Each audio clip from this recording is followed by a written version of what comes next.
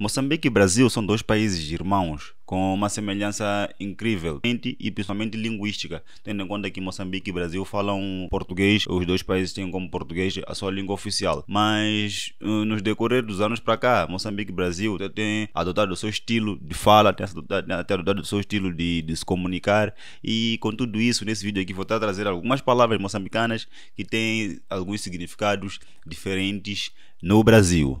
Então, boas pessoal, tudo bem com vocês? Seja todo mundo bem-vindo a mais um vídeo no canal TJ na área com mais um vídeo para vocês e no vídeo de hoje eu vou trazer aí, como você viu pelo início, palavras moçambicanas que têm outro significado no Brasil. Então já fica aí nesse vídeo aqui que você vai aprender algumas palavras moçambicanas, vai ter um bocado, vai ter um bocado de conhecimento de como é o vocabulário moçambicano. Se você tiver gostado desse vídeo aqui, mano, já sabe, deixa o like aí, subscreva-se no canal, aciona aquele som das notificações para não perder vídeo aqui no canal TJ na área com sempre mais um vídeo para vocês. E com tudo isso, mano, bora lá conhecer as palavras moçambicanas que têm outro significado no Brasil. Aqui em Moçambique a gente não diz vou dormir, a gente diz vou ferar. É, é, é, uma, é uma palavra, ferar é uma palavra que deriva do inglês, então a gente meio que deu uma modificada e a gente diz não vou dormir, a gente diz vou ferar. Aqui em Moçambique, quando você vai, vai, vai, vai, vai ao ginásio ou vai, vai malhar, vai à academia, a gente não diz vou malhar, a gente diz vou Dimar, a gente diz vou dimar, vou dimar, vou carregar uns ferros, a gente diz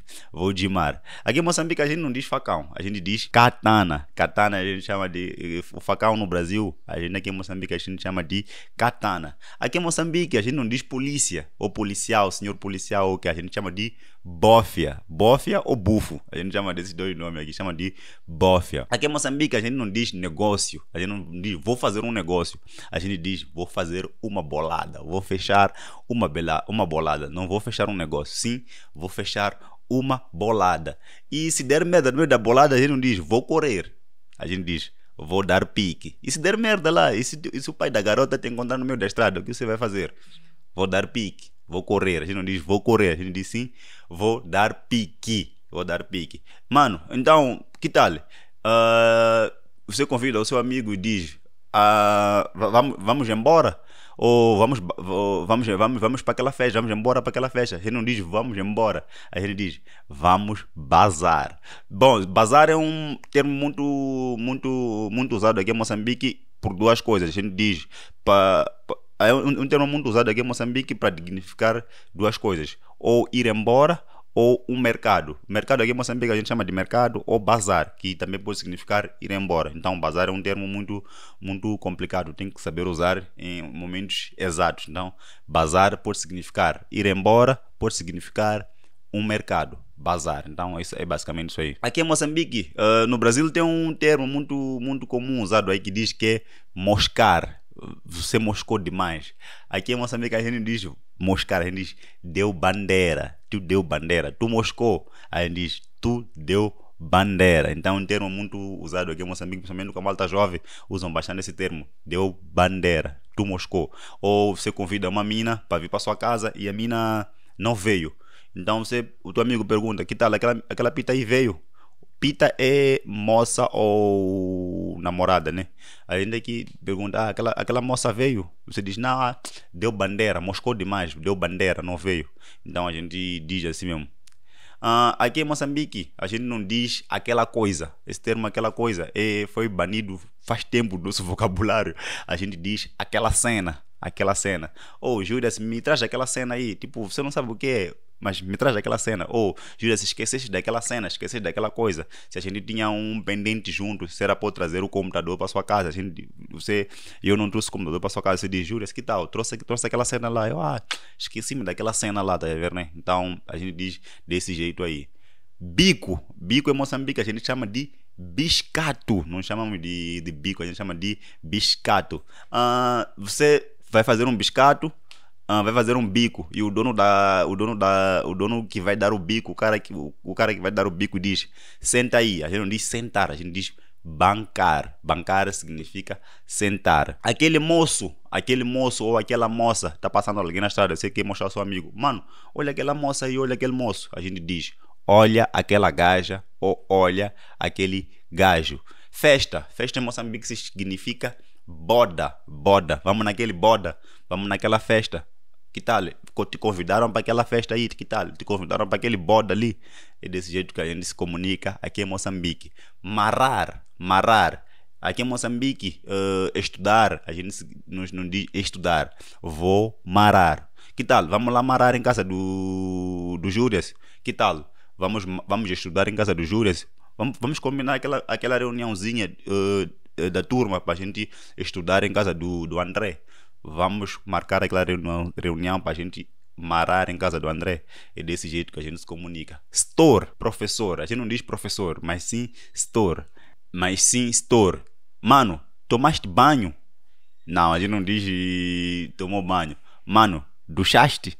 Duchar significa tomar banho aqui em Moçambique. Uma outra palavra que a gente fala bastante aqui em Moçambique é checa. Checa aquela cena aí. Checa aquela coisa ali. É tipo, olha aí. Olha aí significa checa. Ou checa significa olha.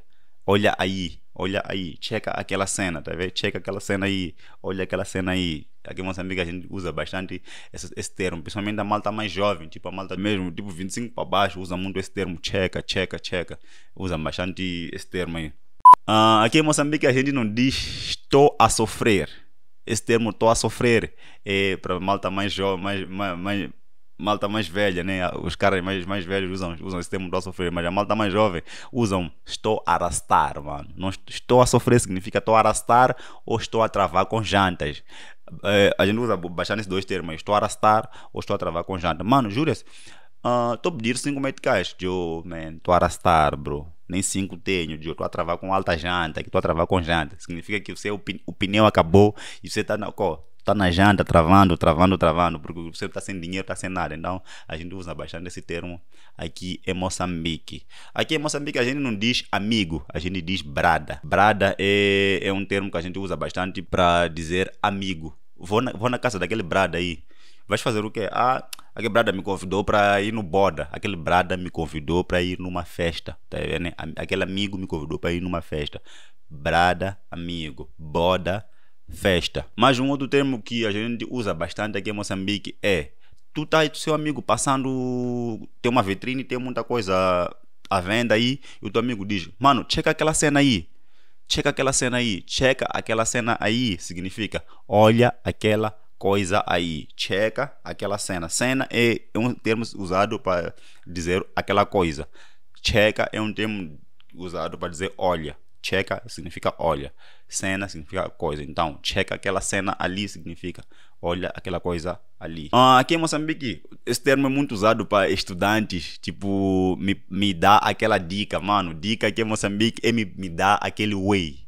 Me dá aquele way significa me dá aquela dica aí, mano. Principalmente para quem é estudante moçambicano, vai se, vai se identificar muito com, com esse termo aqui, mano.